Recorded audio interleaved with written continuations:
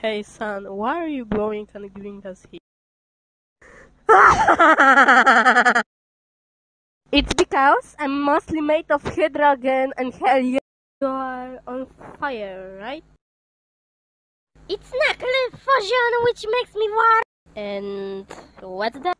When two light atomic nuclei combine to form on the behavior, we forming massive amounts of energy which keeps me warm.